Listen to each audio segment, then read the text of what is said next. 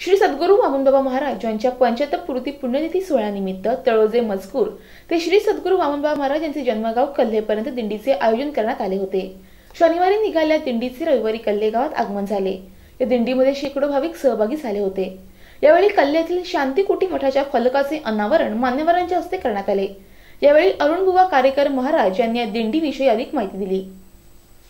संपूर्ण महाराष्ट्रामध्ये एक सत्पुरुष म्हणून गणले गेलेले आहेत.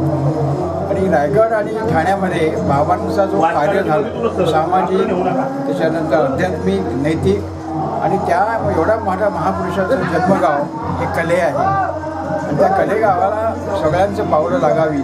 बाबांनी जन्मगाव पुढे झाला. जन्मभूमीला फार महत्त्व आहे. आणि म्हणून आज तळोजे मस्कूरपासून काल दिंडी निघाली. आणि आज ती या ठिकाणी पोहोचलेली आहे. आमच्या अपेक्षेपेक्षा जवळजवळ चौपट माणसं आली. शे दोनशे माणसं असतील पण आज बाराशे माणसांचा समाज या ठिकाणी आलेला आहे. त्याच्यावरून समाजाला संतांच्या उपदेशाची किती आवश्यकता आहे हे दिसतं. म्हणून आम्ही सर्वांना विनंती करतो की आपल्या भारताची परंपरा आहे देशाची परंपरा आहे राष्ट्राची परंपरा आहे या रायगड जिल्ह्याचं भाग्य आहे की बाबांसारखे महात्मे आपल्याला मिळाले. आज सर्वांना आनंद झालेला आहे.